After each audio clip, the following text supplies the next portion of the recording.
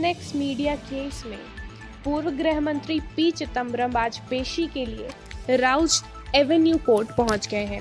Court में पहुँचते ही चिदम्बरम ने सबसे पहले अपने वकील विवेक तनखा, कपिल सिब्बल और अभिषेक मनु सिंघवी से मुलाकात की।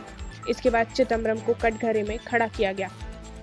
इस दौरान चिदम्बरम ने सीबीआई अधिकारियों की चुटकी लेते हुए कहा कि ये कोर्ट रूम तो बहुत छोटा है, मुझे बड़े कोर्ट रूम की उम्मीद थी। क्या कोर्ट रूम के सभी कोर्ट रूम छोटे हैं? पर सीबीआई अधिकारियों ने कहा कि राउज एवेन्यू कोर्ट ने के सभी कोर्ट रूम छोटे हैं। चिदम्बरम मुस्कुराते रहे। फ़िलहाल पूरे मामले की सुनवाई शुरू हो गई है। दोनों पक्षों की ओर से दलीलें दी जा रही हैं।